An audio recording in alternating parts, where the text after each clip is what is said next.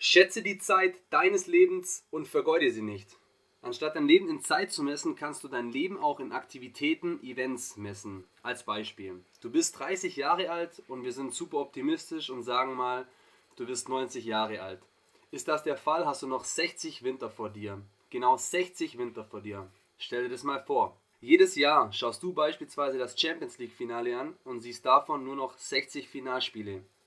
Sagen wir, du liest fünf Bücher im Jahr, auch wenn es sich dabei anfühlt, unendlich viele zu lesen, hast du lediglich noch 300 Bücher zur Auswahl von all den Büchern, die auf dem Markt sind. Woran du wirklich denken solltest und noch wichtig für dich sein sollte, sind Beziehungen. Sagen wir, du bist noch einer von den glücklichen Menschen, die noch beide Elternteile haben und deine Eltern sind 60.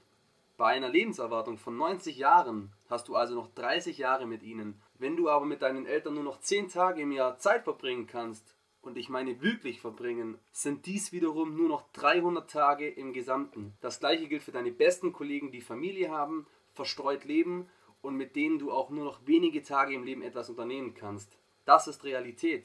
Du realisierst vielleicht, auch wenn du noch nicht am Ende deines Lebens angelangt bist, kommst du womöglich ans Ende der Zeit mit den Menschen, die dir am wichtigsten sind. Natürlich ist dies auch immer wieder eine subjektive Ansicht und jeder kann entscheiden, was er gerne tun möchte. Was du aber tun kannst, um diesem Mechanismus entgegenzuwirken, ist quasi erstens, lebe in derselben Stadt wie die Leute, die dir am wichtigsten sind. Du siehst diese um einiges öfters, als die sonst irgendwo wohnen. Zweitens, Prioritäten setzen und diese von Herzen setzen. Drittens, qualitative Zeit zählt. Wenn du dich mit den Leuten umgibst, die du liebst, schätze und behandle die Zeit kostbar.